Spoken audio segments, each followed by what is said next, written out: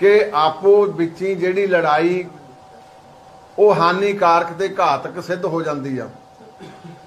ਤੇ ਅਸੀਂ ਇਹਨਾਂ ਗੱਲਾਂ 'ਚ ਯਕੀਨ ਨਹੀਂ ਰੱਖਦੇ, ਆਓ ਸਾਰੇ ਤਕੜੇ ਹੋ ਕੇ ਆਪਾਂ ਇਹ ਜਿਹੜੀ ਸ਼੍ਰੋਮਣੀ ਗੁਰਦੁਆਰਾ ਪ੍ਰਬੰਧਕ ਕਮੇਟੀ ਸੰਸਥਾ ਨੂੰ ਅੱਜ ਕਮਜ਼ੋਰ ਕਰਨ ਲਈ ਬਹੁਤ ਵੱਡੇ ਪੱਧਰ ਤੇ ਜ਼ੋਰ ਲੱਗ ਲੱਗ ਰਿਹਾ, ਇਹਨੂੰ ਆਪਾਂ ਜਿਹੜੀ ਸਾਡੇ ਬਜ਼ੁਰਗਾਂ ਨੇ ਆਪਣੇ ਲਹੂ ਤੇ ਮਿੰਝ ਦੇ ਨਾਲ ਇਹ ਫਲਵਾੜੀ ਸਿੰਜੀ ਸੀ ਉਹਨਾਂ ਪਿਛਲੀਆਂ ਕਦਰਾਂ ਕੀਮਤਾਂ ਦੇ ਉੱਤੇ ਪਹਿਰਾ ਦਈਏ ਤੇ ਠੋਸਤਾ ਦੇ ਨਾਲ ਇਸ ਸੰਸਥਾ ਦੇ ਸਹਿਯੋਗੀ ਬਣ ਕੇ ਮੈਂ ਇਹ ਨਹੀਂ ਕਹਿੰਦਾ ਵੀ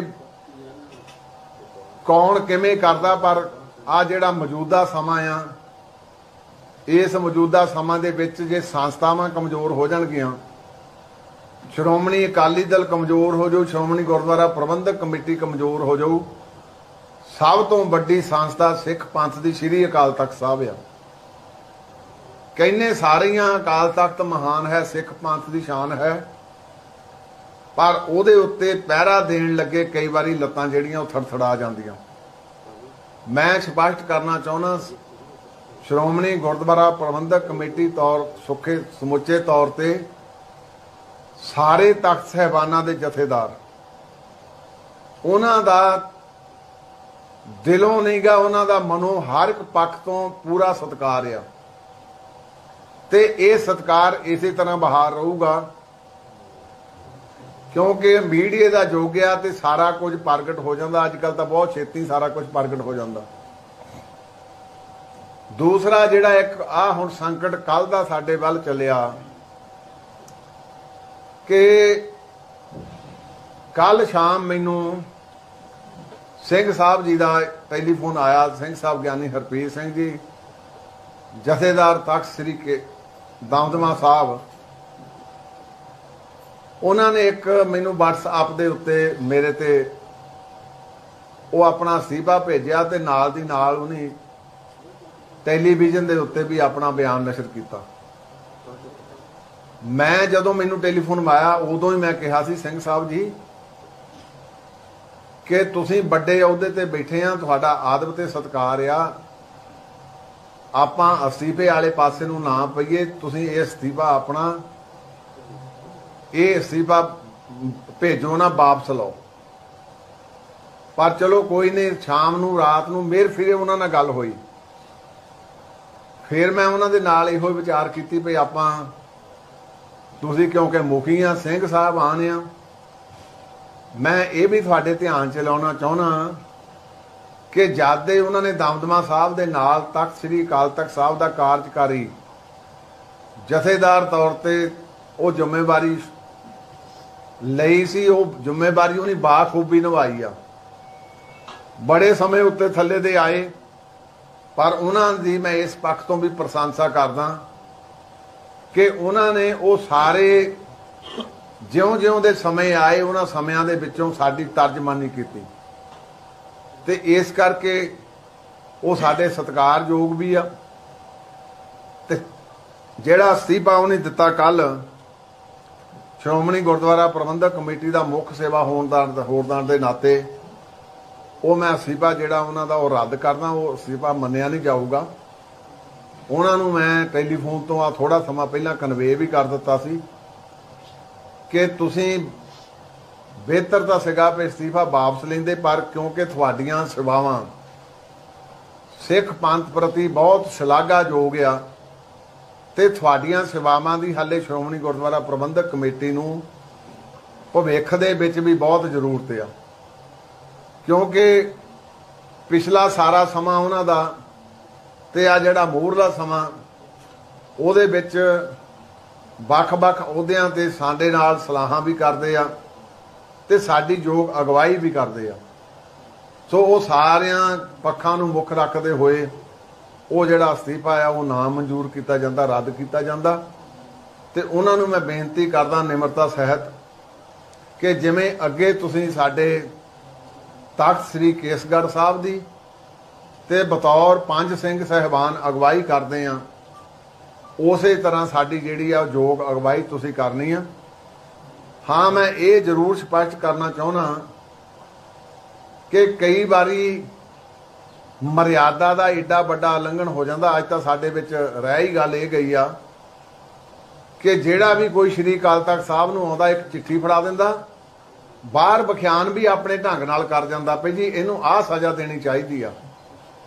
ਆਪ ਹੀ ਕੰਪਲੇਨੈਂਟ ਤੇ ਆਪ ਹੀ ਜੱਜ ਦਾ ਵੀ ਰੋਲ ਅਦਾ ਕਰਕੇ ਚੱਲ ਜਾਂਦੇ, ਤੁਸੀਂ ਮੀਡੀਆ ਵਿੱਚ ਬਿਹਤਰ ਜਾਣਦੇ ਆ ਐਵੇਂ ਕਦੇ ਨਹੀਂ ਹੋਈ, ਇਹ ਮਰਿਆਦਾ ਪਿਛਲੇ ਦਮੇ ਦੌਰਾਨ ਸਿੰਘ ਸਾਹਿਬ ਨੇ ਜਦੋਂ ਇੱਕ ਹਦਾਇਤ ਵੀ ਕੀਤੀ ਸੀ ਭਈ ਜਦ ਤੱਕ ਸ਼੍ਰੋਮਣੀ ਗੁਰਦੁਆਰਾ, ਜਦ ਤੱਕ ਸ਼੍ਰੋਮਣੀ ਅਕਾਲੀ ਦਲ ਦੀ ਜਿਹੜੀਆਂ ਵੀ ਇੱਕ ਦੂਏ ਪ੍ਰਤੀ ਸ਼ਿਕਾਇਤਾਂ ਆ, ਉਹਦੇ ਪ੍ਰਤੀ ਕੁਝ ਨਾ ਬੋਲਿਆ ਜਾਵੇ।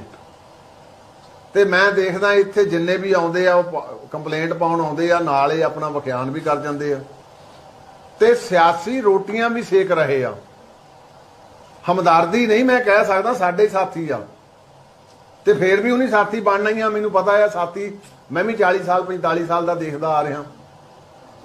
ਤੇ ਫਿਰ ਆਪਾਂ ਸਾਰਥਕ ਰੋਲ ਅਦਾ ਕਰੀਏ, ਸਿੰਘ ਸਾਹਿਬ ਸਾਡੇ ਸਤਿਕਾਰ ਤੇ ਆ। ਉਹ ਰਾਤ ਵੀ ਮੈਂ ਉਹਨਾਂ ਨੂੰ ਜਿੱਲੇ ਟੈਲੀਫੋਨ ਆਇਆ, ਉਸ ਵੇਲੇ ਵੀ ਕਨਵੇ ਕੀਤਾ ਸੀ ਕਿ ਕਿਸੇ ਹਾਲਤ ਵਿੱਚ ਵੀ ਇਹ ਤੁਹਾਡਾ ਅਸਤੀਫਾ ਮਨਜ਼ੂਰ ਨਹੀਂ ਕੀਤਾ ਜਾਣਾ, ਚਾਹੇ ਉਹਨਾਂ ਕੋਲ ਰਿਕਾਰਡਿੰਗ ਵੀ ਸ਼ਾਇਦ ਹੋਵੇ। ਤੇ ਮੈਂ ਰਾਤ ਵੀ ਇਹ ਗੱਲ ਕੀਤੀ ਸੀ ਉਹਨਾਂ ਦੇ ਨਾਲ। ਤੇ ਹੁਣ ਵੀ ਮੈਂ ਸਵੇਰੇ ਜਿਹੜੀ ਆ ਉਹਨਾਂ ਦੇ ਨਾਲ ਗੱਲ ਕੀਤੀ ਆ, ਤੇ ਮੈਂ ਸਮਝਦਾ ਵੀ ਉਹਨਾਂ ਦੀਆਂ ਸਵਾਵਾਂ ਬੜਮੁੱਲੀਆਂ ਆ, ਤੇ ਬੜਮੁੱਲੀਆਂ ਸਵਾਵਾਂ ਦੇ ਵਿੱਚ ਉਹਨੇ ਬੜਮੁੱਲਾ ਜਿਹੜਾ ਆ, ਉਹ ਸਾਡਾ ਸਾਰਾ ਯੋਗਦਾਨ ਪਾਇਆ। ਅੰਤ ਦੇ ਵਿੱਚ ਫੇਰ ਨਿਮਰਤਾ ਸਹਿਤ ਸਾਰਿਆਂ ਨੂੰ ਬੇਨਤੀ ਕਰਦਾ। ਬਹੁਤ ਕੋਝਿਆ ਬੋਲਣ ਨੂੰ ਬਤੌਰ ਪੋਲੀਟੀਸ਼ੀਅਨ ਇੱਕ ਦੂਏ ਦੇ ਖਿਲਾਫ ਬੋਲੀ ਜਾਈਏ ਜਾਂ ਹੋਰ ਬੋਲੀ ਜਾਈਏ। ਤਖਤ ਸਹਿਬਾਨ ਦੇ ਜਥੇਦਾਰ ਜਿਹੜੇ ਆ, ਇਹ ਸਤਿਕਾਰਯੋਗ ਆ। ਕੋਈ ਗੱਲ ਕਰਨੀ ਅੰਦਰ ਵੜ ਕੇ ਕੀਤੀ ਜਾ ਸਕਦੀ ਆ। ਸਿੰਘ ਸਾਹਿਬ ਵਿੱਚ ਗਿਆਨੀ ਰਗਵੀਰ ਸਿੰਘ ਜੀ ਸਾਡੇ। ਤਖਤ ਸ੍ਰੀ ਅਕਾਲ ਤਖਤ ਸਾਹਿਬ ਦੇ ਜਥੇਦਾਰ ਘਰ ਵੀ ਉਹਨਾਂ ਦਾ ਵਿੱਚ ਹੀ। ਐਵੇਂ ਹੀ ਸਿੰਘ ਸਾਹਿਬ ਗਿਆਨੀ ਹਰਪ੍ਰੀਤ ਸਿੰਘ ਜੀ ਦਾ ਘਰ ਵੀ ਉੱਥੇ ਦਮਨਾ ਸਾਹਿਬ ਦੇ ਵਿੱਚ ਹੀ ਆ ਤੇ ਇੱਥੇ ਵੀ ਆਉਂਦੇ ਜਾਂਦੇ ਆ। ਕੋਈ ਸੁਝਾਅ ਦੇਣਾ, ਕੋਈ ਗੱਲ ਕਰਨੀ ਆ, ਅੰਦਰ ਵੜ ਕੇ ਕਰ ਲੈਣੀ ਚਾਹੀਦੀ ਆ। ਫਿਰ ਉਹ ਜਿਲੇ ਆਪਾਂ ਲੋਕਾਂ 'ਚ ਨਸ਼ਰ ਹੁੰਦੀ, ਕੁਦਰਤੀ ਕਈ ਵਾਰੀ ਫਿਰ ਬਕਾਰ ਨੂੰ ਸੱਟ ਲੱਗਦੀ ਆ। ਐਵੇਂ ਗਿਆਨੀ ਸੁਲਤਾਨ ਸਿੰਘ ਜੀ ਇੱਥੇ ਵੀ ਰਹਿੰਦੇ ਆ, ਉਹਨਾਂ ਦੀ ਰਹਿائش ਵੀ ਇੱਥੇ ਹੀ ਆ ਤੇ ਤਾਂ ਤਾਂ ਕੇਸਗੜ ਸਾਹਿਬ ਤੇ ਵੀ ਜਾਂਦੇ ਆ। ਸੋ ਇਸ ਕਰਕੇ ਸਾਰਿਆਂ ਨੂੰ ਬੇਨਤੀ ਕਰਦਾ ਕਿ ਸਿੰਘ ਸਾਹਿਬ ਦੇ ਹੋਏ ਆਦੇਸ਼ ਅਨੁਸਾਰ ਕਿ ਕੋਈ ਵੀ ਗੱਲ ਜਿਹੜੀ ਕਰਨੀ ਉਹ ਆਪ ਅੰਦਰ ਵੜ ਕੇ ਕਰ ਲਓ ਪਬਲਿਕਲੀ ਨਾ ਬੋਲੀ ਜਾਵੇ। ਕਿਉਂਕਿ ਪਬਲਿਕਲੀ ਜਿਹੜੇ ਕੋਈ ਗੱਲ ਬੋਲੀ ਜਾਂਦੀ ਤੇ ਉਹ ਫਿਰ ਕਈ ਵਾਰੀ ਉਹ ਐਸੀ ਘਾਤਕ ਸਿੱਧ ਹੁੰਦੀ ਆ, ਫਿਰ ਬਕਾਰਾਂ ਦਾ ਸਵਾਲ ਬਣ ਜਾਂਦਾ। ਤੇ ਤਾਕਤ ਸਹਿਬਾਨ, ਜਿਹੜੇ ਜਥੇਦਾਰ ਸਹਿਬਾਨ, ਇਹ ਕੌਮ ਦੀ ਅਗਵਾਈ ਕਰਦੇ ਆ। ਇਹ ਵੱਡੇ ਸਾਹਾਂ ਤੇ ਬੈਠੇ ਆ, ਵੱਡੀਆਂ ਇਹਨਾਂ ਦੀਆਂ ਸੁਭਾਵਾਂ ਆ। ਇਹਨਾਂ ਨੂੰ ਵੀ ਬੇਨਤੀ ਕਰਦਾ ਕਿ ਤੁਸੀਂ ਉਹ ਵੱਡੀਆਂ ਸੁਭਾਵਾਂ ਨੂੰ ਮੁੱਖ ਰੱਖਦੇ ਹੋਏ ਡਾਇਰੈਕਸ਼ਨ ਦੇਣੀ, ਅਗਵਾਈ ਕਰਨੀ ਆ। ਕਿਉਂਕਿ ਆ ਜਿਹੜਾ ਸਮਾਂ ਮੈਂ ਤੁਹਾਨੂੰ ਗਣਾਇਆ ਕਿ ਪਟਨਾ ਸਾਹਿਬ ਤੋਂ ਸ਼ੁਰੂ ਹੋ ਕੇ ਮਹਾਰਾਸ਼ਟਰ ਤੋਂ ਗਾਹਾਂ ਦਿੱਲੀ ਤੇ ਗਾਹਾਂ ਦਿੱਲੀ ਤੋਂ ਹਰਿਆਣਾ ਤੇ ਹੁਣ ਪੰਜਾਬ ਵਿੱਚ ਹੱਥ ਫਲਾ ਰਿਹਾ। ਇਹ ਤਾਈਓ ਸਾਡੇ ਸੁਰੱਖਿਅਤ ਆ ਜੇ ਜਿਹੜੇ ਸਾਡੇ ਅਗਵਾਈ ਕਰਦੇ, ਚਾਹੇ ਮੈਂ ਮੁੱਖ ਸੇਵਾਦਾਰ ਦੇ ਤੌਰ ਤੇ ਸ਼੍ਰੋਮਣੀ ਗੁਰਦੁਆਰਾ ਪ੍ਰਬੰਧਕ ਕਮੇਟੀ 'ਚ ਕਰਦਾ ਤੇ ਸਿੰਘ ਸਹਿਬਾਨ, ਤਿੰਨੋਂ ਸਿੰਘ ਸਹਿਬਾਨ, ਚੌਥੇ ਸਿੰਘ ਸਹਿਬਾਨ ਤਖਤ ਸ੍ਰੀ ਹਜੂਰ ਸਾਹਿਬ। ਸਿੰਘ ਸਾਹਿਬ ਕਲਵੰਤ ਸਿੰਘ ਜੀ ਤੇ ਉਹਨਾਂ ਦੇ ਨਾਲ ਸਿੰਘ ਸਾਹਿਬ ਭਾਈ ਬਲਦੇਵ ਸਿੰਘ ਜੀ, ਤਖਤ ਪਟਨਾ ਸਾਹਿਬ ਦੇ ਜਥੇਦਾਰ। ਸਾਡੇ ਸਾਰੇ ਸਤਿਕਾਰਯੋਗ ਆ ਕਿਉਂਕਿ ਇਹ ਤਖਤ ਸਹਿਬਾਨ, ਗੁਰੂ ਸਾਹਿਬਾਨ ਗੁਰੂ ਸਾਹਿਬ ਜੀ ਦੇ ਵੇਲੇ ਤੋਂ ਤਖਤ ਜਿਹੜੇ ਆ, ਇਹ ਚੱਲੇ ਆ ਰਹੇ ਤੇ ਇਹਨਾਂ ਦੀ ਮਰਿਆਦਾ ਵੀ ਆ। ਸੋ ਮੈਂ ਅੰਤ ਦੇ ਵਿੱਚ ਇਹ ਵੀ ਇੱਕ ਸਿੱਧੇ ਤੌਰ ਤੇ ਤੁਹਾਡੇ ਰੂਬਰੂ ਹੋ ਕੇ ਵੀ ਜੇ ਕਤਾਜਤ ਕਿਸੇ ਪੱਖ ਤੋਂ ਤੁਹਾਨੂੰ ਲੱਗਦਾ ਵੀ ਤੁਹਾਡੀ ਮਰਿਆਦਾ ਦਾ ਕਿਸੇ ਪੱਖ ਤੋਂ ਜਾਂ ਕੋਈ ਜਾਤੀ ਤੌਰ ਤੇ ਤੁਹਾਨੂੰ ਮਹਿਸੂਸ ਹੁੰਦਾ, ਉਹ ਅੱਜ ਅਕਾਲੀ ਦਲ ਦਾ ਸਾਡਾ ਸਰਦਾਰ ਦਲਜੀਤ ਸਿੰਘ ਚੀਮਾ ਆਏ ਸੀ ਮੇਰਾ ਖਿਆਲ ਉਹਨੇ ਵੀ ਪ੍ਰੈਸ ਕਾਨਫਰੰਸ ਉਧਰ ਕਰਕੇ ਗਏ ਆ। ਤੇ ਮੈਂ ਇਹ ਅਸ਼ੋਰੈਂਸ ਦਿਵਾਉਣਾ ਕਿ ਅਸੀਂ ਤੁਹਾਡੇ ਨਾਲ ਆ। ਨਾਲ ਇਹ ਗੱਲਾਂ ਨਾ ਹੁੰਦਾ। ਨਾਲ ਸੱਚਮੁੱਚ ਹੀ ਆ ਬਤੌਰ ਪ੍ਰਧਾਨ ਆ ਸਾਰੇ ਮੈਂਬਰ ਸਹਿਬਾਨ ਸਾਡੇ। ਤੇ ਸਾਰਾ ਇਹ ਸਮੁੱਚਾ ਹਾਊਸ ਤੁਹਾਡੀਆਂ ਕੀਤੀਆਂ ਜਿਹੜੀਆਂ ਸੇਵਾਵਾਂ ਉਹਨਾਂ ਦਾ ਸਤਿਕਾਰ ਵੀ ਕਰਦੀ, ਉਹਨਾਂ ਦੀਆਂ ਪ੍ਰਸ਼ੰਸਾ ਵੀ ਕਰਦੀ। ਤੇ ਗਾਂ ਵੀ ਵਧੇਰੇ ਹਿੱਤਾਂ ਲਈ ਤੁਸੀਂ ਸਾਡੀ ਉਹ ਜਿਹੜੀ ਉਹ ਅਗਵਾਈ ਕਰਦੇ ਰਹੋ ਤੇ ਉਹ ਅਸਤੀਫਾ ਜਿਹੜਾ ਆ, ਉਹ ਅੱਜ ਅਸੀਂ ਉਹ ਨਾਮ ਮਨਜ਼ੂਰ ਕਰਦੇ ਹਾਂ। ਬਹੁਤ ਬਹੁਤ ਧੰਨਵਾਦ ਤੁਹਾਡਾ ਵੀ।